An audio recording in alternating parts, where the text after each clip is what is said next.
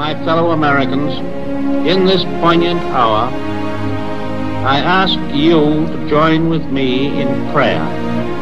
Almighty God, our sons, pride of our nation, this day have set upon a mighty endeavor, a struggle to preserve our republic, our religion, and our civilization, and to set free a suffering humanity.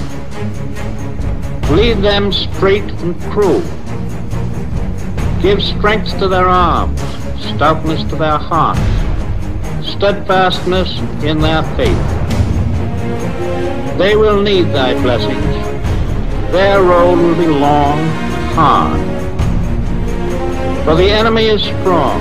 He may hurl back our forces, but we shall return again and again.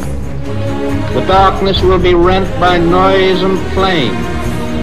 Men's souls will be shaken with the violences of war. Some will never return.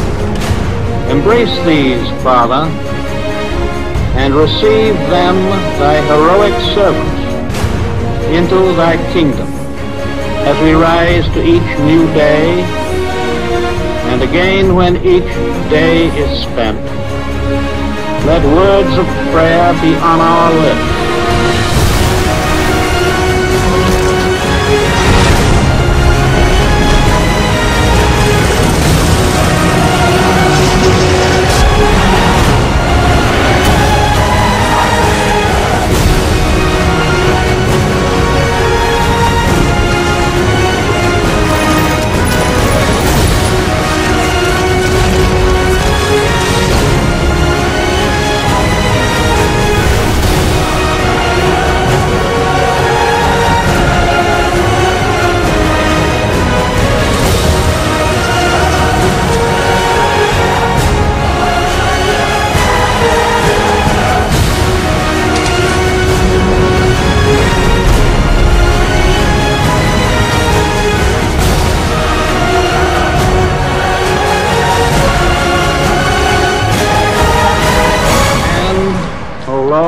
Give us faith.